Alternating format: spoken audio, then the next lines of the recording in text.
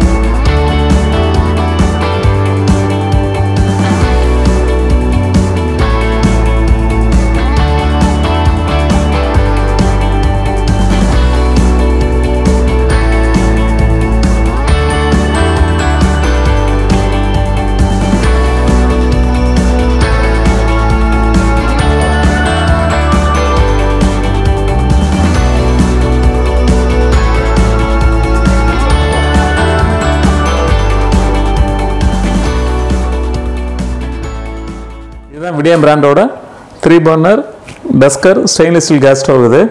இப்போ ஃபஸ்ட்டு இதோட கண்டென்ஸ் என்னென்னு பார்ப்போம். பார்த்தீங்கன்னா இதில் வந்து மொத்தம் மூணு பர்னர் கொடுத்துருக்காங்க. ஒரு மீடியம் பர்னர் கொடுத்துருக்காங்க. ஒரு ஸ்மால் பர்னர் கொடுத்துருக்காங்க. ஒரு ஜம்போ பர்னர் கொடுத்துருக்காங்க.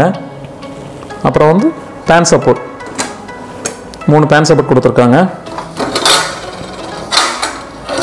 அப்புறம் ட்ரிப் ட்ரே மூணு பர்னருமே ட்ரிப் அதை நம்ம எதாவது பொங்கி சிந்திச்சுன்னா எடுத்து க்ளீன் பண்ணுறதுக்கு ஈஸியாக இருக்கும். ட்ரிப்பே கொடுத்துருக்காங்க.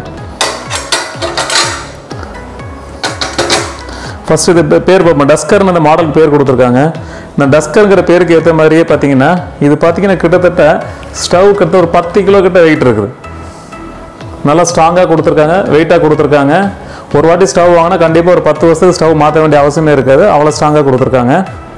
அதை பார்த்தீங்கன்னா இந்த ஸ்ட- இது ஃபுல்லாகவே வந்து ஒரே ஷீட்டு த டூ எம்எம் திக்னஸ் உள்ள ஒரே தகடில் இது பண்ணியிருக்காங்க ஃபுல்லாகவே வந்து பார்த்திங்கன்னா ஒரே தகடு தான்.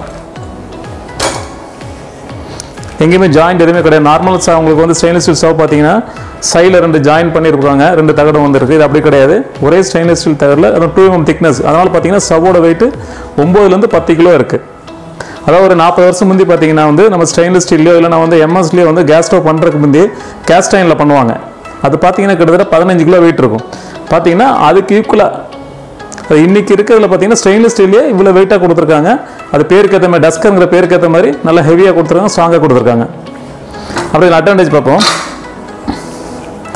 நார்மலாக கேஸ் ஸ்டவ் பார்த்தீங்கன்னா வந்து எல்லாருமே பார்த்தீங்கன்னா ஒன் எம்எம் இல்லை டூ எம்ல வந்து இந்த ஸ்டாண்ட் செய்வாங்க பேன் சப்போர்ட் இது பார்த்தீங்கன்னா உங்களுக்கு five M thickness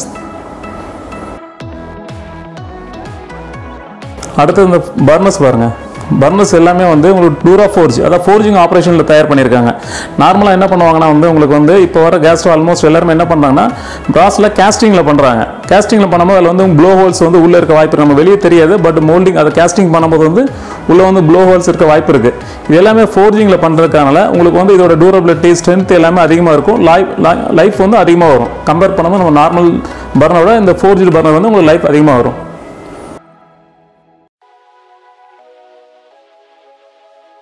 drip tray வந்து மூணு சைஸ் கொடுத்துருக்காங்க. இந்த ட்ரிப் ட்ரேல என்னன்னா வந்து நீங்கள் ஒரு ட்ரிப் ட்ரே இன்னைக்கு வந்து சரியாக என்ன பண்ணுவாங்க? தெரியாமல் வந்து இந்த ஒரு ட்ரிப் ட்ரே வந்து இன்னொரு பர்னல் அதாவது சின்ன பர்னல் உள்ளது மீடியம் பர்னலுக்கு போட்டிங்கன்னா செட் ஆகும். பட் என்ன ஆகுனா வந்து உங்களுக்கு அந்த ஃப்ளேம் சைடில் போட்டு இந்த இடம்லாம் வந்து பிளாக்னா இருக்கும். நிறைய பேர் அதை பார்த்துருப்பீங்க. வீட்டில் வந்து சுற்றி பிளாக்காக இருக்கும். என்ன காரணம்னா வந்து இந்த ட்ரேயை வந்து மாற்றி போட்டிங்கன்னா அந்த ஃப்ளேம் வந்து டேரெக்டாக இதில் பட்டு பிளாக் ஆயிரும். அதை இது பண்ணுறதுக்கு என்ன பண்ணியிருக்காங்கன்னா ஒரு சின்ன ஸ்க்ரூ இதை கொடுத்துருக்காங்க. அதுக்கு மேட்ச் பண்ணுற மாதிரி ஹோல்ஸ் இதில் கொடுத்துருக்காங்க. ஸோ இந்த பிளேட் வந்து அந்த பர்னரில் போட்டால் மட்டும் செட் ஆகும்.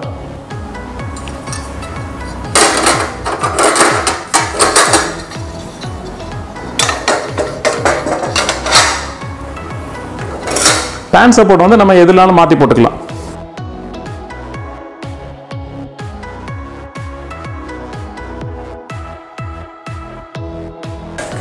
அப்புறம் பார்த்தீங்கன்னா முன்னே அந்த நாபு பாருங்கள் நாபை சுற்றி வந்து ஒரு குரோம் பிளேட்டட் வந்து ஒரு இது டயல் கொடுத்துருக்காங்க.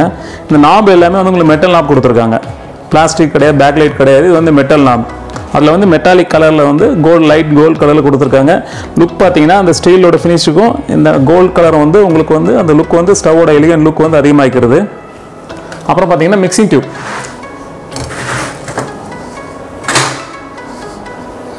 எல்லாமே வந்து டைரெக்டாக வந்து அந்த கேஸ் ரயிலில் வந்து இந்த லைனில் வந்து டைரெக்டாக கொடுத்துருக்காங்க மிக்சிங் டியூப் எல்லாமே.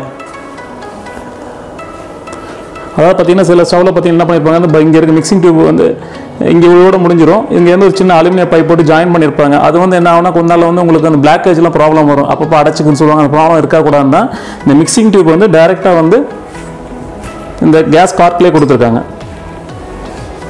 அதே மாதிரி பார்த்தீங்கன்னா கேஸ் கார்க் பார்த்தீங்கன்னா door shield gas Garg use பண்ணியிருக்காங்க அதே மாதிரி இந்த பர்னர் பார்த்தீங்கன்னா ஜம்போ பர்னர் இது வந்து. இந்த பர்னர் கொடுத்துருக்கனால நீங்கள் வந்து எவ்வளோ பெரிய பாத்திரம் கூட வைக்கலாம். சமையல் பண்ணுறதுக்கு ஈஸியாக முடிஞ்சிடும் அதே நேரத்தில் இவ்வளோ ஸ்ட்ராங்காக கொடுத்துருக்காங்க. அதனால் வந்து இந்த பர்னர் நீங்கள் எவ்வளோ பெரிய பாத்திரம் வச்சு பண்ணாலும் வந்து உங்களுக்கு வந்து ஸ்டவ்வுக்கு எந்த பாதிப்பும் வராது. அவ்வளோ வெயிட் இருக்குது ஒரு ஆள் மேலே ஏறி நின்னா கூட அது வந்து வெயிட் தாங்க மாதிரி கொடுத்துருக்காங்க. கேஸ் ஸ்டவ் லெக் பார்த்தீங்கன்னா இதுக்கு மேட்சிங்காகவே கொடுத்துருக்காங்க. க்ரோம் பிளேட்டடு கீழே மட்டும் ரப்பர் புஷ் அதாவது கிரிப்பை பிடிக்கிறக்க கீழே ரப்பர் புஷ் கொடுத்துருக்காங்க. இது வந்து க்ரோம் பிளேட்டட் கொடுத்துருக்காங்க. அப்புறம் பார்த்தீங்கன்னா ஹெச்எஸ் இந்த ஹெச்எஸ்லாம் பாருங்கள் நம்ம எவ்வளோ கையில் வேகமாக அந்த அளவுக்கு blend பண்ணியிருக்காங்க. அதாவது லேடிஸ் க்ளீன் பண்ணும்போது கையில் கை இது இதாக ஸ்டெயின்லெஸ் ஸ்டீல் வந்து கையில் விட்டுறக்கூடாதுங்கிறக்காக இந்த எட்ஜஸ்லாம் வந்து நல்லா blend பண்ணியிருக்காங்க. எவ்வளோ தான் வேகமாக தைச்சாலும் உங்களுக்கு வந்து எதுவுமே ஆகாது. அந்தளவுக்கு எட்ஜஸ் வந்து நல்லா கேர்வாக பண்ணி கையில் எதுவுமே வெட்டாமல் இருக்கிற மாதிரி நல்லா blend பண்ணி விட்ருக்காங்க ஒரு வாரண்டி பார்த்தீங்கன்னா வந்து ப்ராடக்ட் வாரண்டி வந்து உங்களுக்கு five years five years burner எல்லாமே கவர் ஆகும். இந்த ஸ்டெயின்லெஸ் ஸ்டீல் பாடிக்கு வந்து உங்களுக்கு வந்து லைஃப் டைம் வாரண்டி கொடுத்துருக்காங்க மெயின் அதேமாதிரி இது யூஸ் அண்ட் கேர் பார்த்தீங்கன்னா யூஸ் பண்ணும்போது என்ன பண்ணால் நம்ம சாதாரண ஸ்டீல் ஸ்க்ரப்பரோ இல்லை கொஞ்சம் ஹார்டான ஸ்க்ரப்பர் வச்சு தேய்க்காம மைக்ரோ ஃபைபர் கிளாத் வச்சு நீங்கள் க்ளீன் பண்ணிங்கன்னா வந்து இந்த மிரர் ஃபினிஷ் வந்து உங்களுக்கு வந்து ரொம்ப நாள் இருக்கும். மெயின் வந்து இது யூஸ் அண்ட் கேர் வந்து நீங்கள் வந்து மைக்ரோ ஃபைபர் கிளாத் அந்த மாதிரி வச்சு யூஸ் பண்ணுங்கள் உங்களுக்கு வந்து இந்த ஃபினிஷிங் வந்து எப்போதுமே இருக்கும். லாங் லாஸ்டிங் இருக்கும். இன்னைக்கு வீடியோவில் வந்து நம்ம வந்து ஒரு அற்புதமான ப்ராடக்ட் பார்த்தோம்.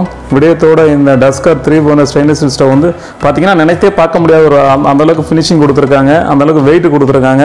கண்டிப்பாக அது வந்து பல வருடங்களுக்கு உழைக்கிற மாதிரி அவங்க பண்ணியிருக்காங்க. இதே மாதிரி ஒரு நல்ல ப்ராடக்ட்டோட வீடியோவோட உங்களை சந்திக்கும் வரை நன்றி வணக்கம். கீழே இருக்க சப்ஸ்கிரைப் பட்டனை கிளிக் பண்ணி பக்கத்தில் இருக்க பெல் ஐக்கானை தட்டி விடுங்க. அப்போ தான் நாங்கள் போடுற வீடியோஸை நீங்கள் மிஸ் பண்ணாமல் பார்க்க முடியும்.